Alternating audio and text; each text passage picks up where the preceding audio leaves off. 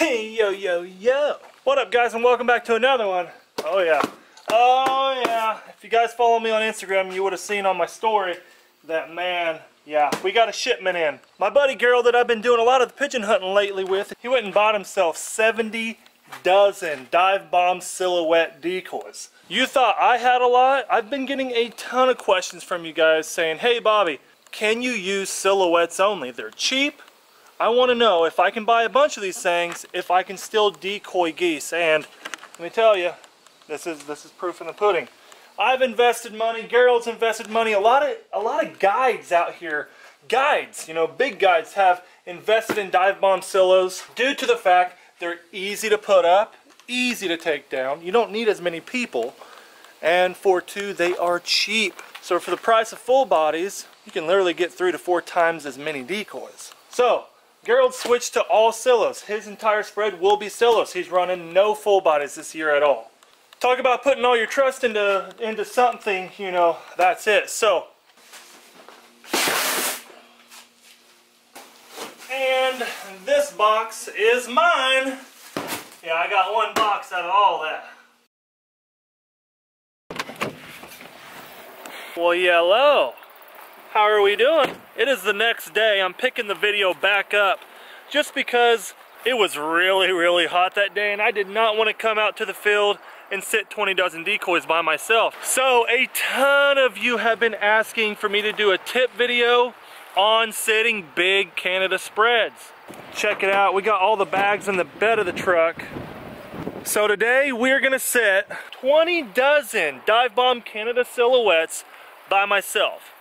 So this is gonna be a big spread, 20 dozen by yourself, that's a lot. We all know how tough it is to set 20 dozen full body decoys.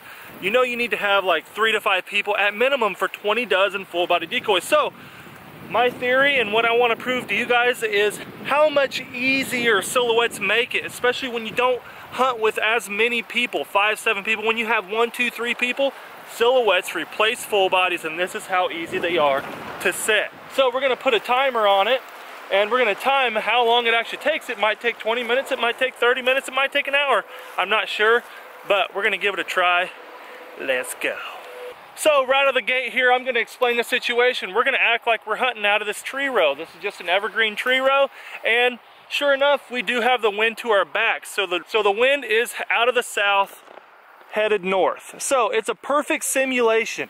So what we're gonna do, here's the tree row behind me, we're gonna sit the spread out here. We're gonna do kind of a big W slash U.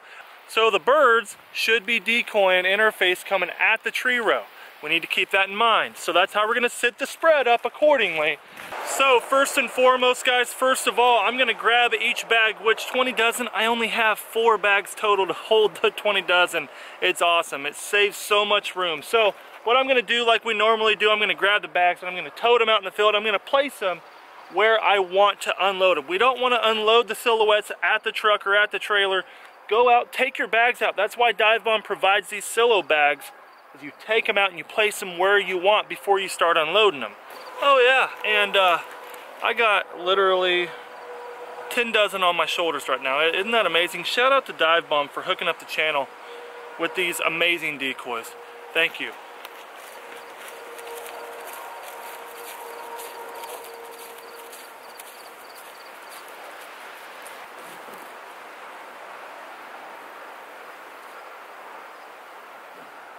So you know what I think I'm gonna do guys? It is 9.50 right now. It is 9.50.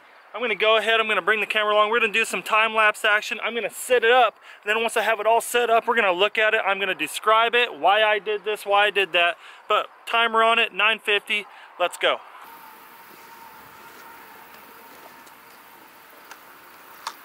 I've never, I've never set these this many silhouettes, so it might take me a minute to get a rhythm going. But once you get your rhythm going with any decoy, like this here, see I'm already starting to get a rhythm going.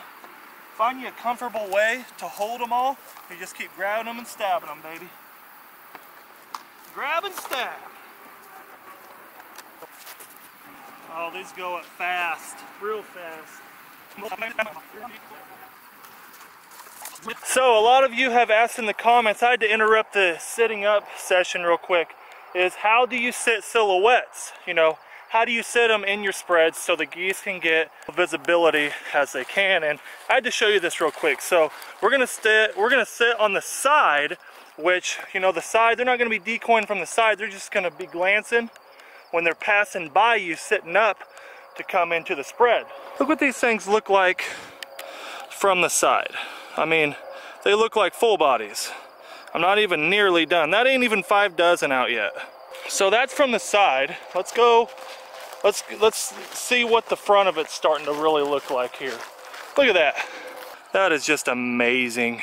And it's so easy. Like I said, that ain't even five dozen yet. Hasn't even been three minutes. Yet again, I'm wasting time. I'm gonna go ahead, turn off the camera. I'm gonna sit all these things up and we'll see what time it is. Whoa, whoa. So, we're all done here. 20 dozen uh, is way more than I figured it would look like. I mean, it's a ton. And it literally only took me maybe 15 to 20. I actually gabbed with the, with the property owner here. He came out and said, hey Bob, what's up? So I was like, oh, you know, crazy me, just sitting a big old goose spread in the summertime. But let's check it out. This is the right side. So this is the right side of the spread. And uh, right here would be the kill hole. See how I have a big open hole? It starts breaking up here with big open holes. Basically now I am sitting where we would be in the tree row in the A-frame blind hunting. And let's give her a looky here. So this is the kill hole here. So we got a slight V going on. So we get, see how we loosen up here we start getting big pockets with holes. See that big hole there, that big hole there. Then you have a big V shape here. So that's the left side. We start condensing up along the tree row with a lot of feeders. You see how many feeders I got here? See all these feeders? I like putting the feeders up close to the blind in the center of the kill hole so they're looking at birds feeding. Why you ask? Well because we hunt tree rows like this one on a lot a lot of cold cold north wind days so them birds are hungry and they want to get out of the wind so they can eat more comfortably. So what I'm saying is I put them feeders to give them confidence to want to land closer to that tree row. A lot of birds in general, waterfowl, don't like landing right up against tree rows a lot of times. But when it's really cold, you have a lot of wind like today, but it's just bitter cold, they will land up against those tree rows quite well. So the feeders up against the blind, 10 foot, 10 yards away from the blind, that's just a confidence thing. Trying to give the birds that confidence to go, oh yeah, look at all of them feeding up against them trees. Don't be scared. Let's go land up there. So I got the truck right here and there's a little break in the trees as you can see. And the wind is coming out of the south right here and zooming in. And look at the decoys, the way the wind shakes them. Gives them a little bit of motion. Oh yeah, they look gorgeous. So this is the left side. See how I give open holes just for opportunities. See this open hole here? Big open holes, really breaking it up. This is a tip for all you guys that's been asking for big goose spread tips. Right here is our kill hole. So I'm standing in the middle of the kill hole. We would be sitting right there. So we want the geese to basically be landing right behind these guys. What are these guys doing? These guys are walking in. They're landing in the kill hole. We're demonstrating that them birds are landing in the kill hole right here and they're walking into the spread to get a bite to eat. I always put walkers right here in the kill hole walking into the feed. Here's another really good tip. This is something I really do. So now we're standing way out in the spread. Here's this side. We'd be sitting right there again. Here's this side. Look at these silhouettes. My goodness. 15 minutes for one person to put up 20 dozen. 15 to 20. 15 to 20 minutes is all it took. But at, right here, so here's a kill hole yet again, guys. See, I have a family here. I have a family here. This family's walking in like they just landed out here. And they're walking in. So we give them this big area. Depending on what size of groups of birds that we're decoying, the bigger groups of birds, the more area you want to give them to land. So here in Kansas where I hunt, we decoy a lot of big groups of lessers and cacklers. Don't hunt the honkers very often. We just don't get them here very often. So up by the tree row, we got it set a little tighter. The decoys are a little tighter, bunched up. And then when we get out here on these wings, like this one and here, really start breaking them up. Make family, family groups out there. The wings, all we want to do is want to make a guide system to guide them into that kill hole just like this. Especially on them cold days. On this side, as you can tell again, I just used family groups to demonstrate some feeding and walking action and basically just giving them, again, that guide system to make them land right here. But now we're standing right in the middle of the kill hole and I just want to give you guys a really good perspective of what these bad boys look like. A lot of you have been questioning whether dive bomb silhouettes uh, can actually replace full bodies and I'd say this is proof. Look how good these bad boys look. I'm going to zoom in a little bit and we're going to check it out. I mean look how good these bad boys look. Wow. They look like full bodies, no lie. Whew, I'm glad we were able to do this video because you guys have just been flooding me with the big goose spread tips. I know we do a lot of big goose hunting here on the channel. You guys know, a lot of you avid subscribers know that goose hunting, it's my baby. It's something I've grown to love and what I do most here. So having these silhouettes and being able to put up 20 dozen like this by myself is a blessing. I want to give a huge shout out to Dive Bomb Industries for hooking up the channel. If it wasn't for them, we would not be doing this right now and my life wouldn't be a lot easier when it comes to decoy spreads, hunting by myself or one or two guys during the work week. A lot of you guys know, a lot of you guys out there work during the work week. You can only hunt on Saturdays and Sundays. Well, that goes for a lot of my buddies as well. I can't sit those huge spreads on the weekdays like I used to. Now with Dive Bomb Industries silhouettes, I am able to do that. I hauled all these decoys in the bed of my truck and had room for three times as much as this. So I'm probably gonna end up getting some more of these bad boys. But for all you guys that's been really wanting some spread tips, check it out. Like I said, how tight they are up here. We got them pretty tight.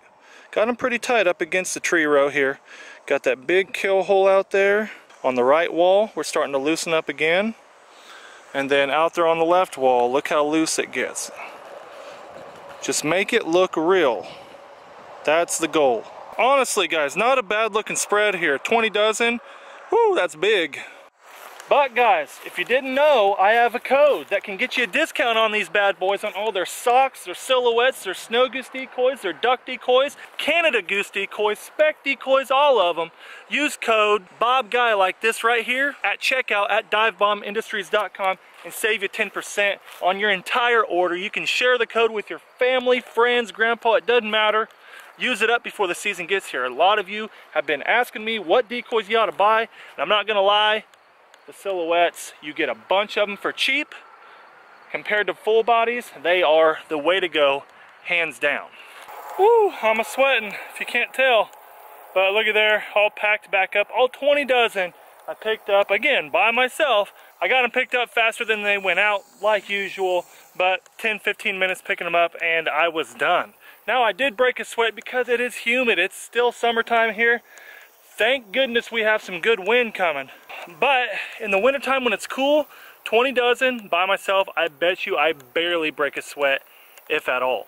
But I really hope I uh, taught you guys a few things about big goose spreads, and I really hope I put some confidence under your guys' booties about these goose silhouette decoys. A lot of you have been hitting me up, please Bobby, do a video on the goose silhouette please do a big spread video. Show us how it looks. And that's what we did today. I hope you guys enjoyed it. If you did, drop a huge thumbs up for your boy right now. And all the how-to videos. You guys have been doing great, giving me suggestions down below. So right now I want you guys, you know, this video right here, whether it's a spread video, whatever it is, drop a comment down below and let me know what how-to video you guys want me to cover next. But I want to thank you guys, each and every one of you guys for watching and always hitting the thumbs up button always subscribe. And all my new subscribers out there, welcome to the Bobby Guy Films community. I welcome you all.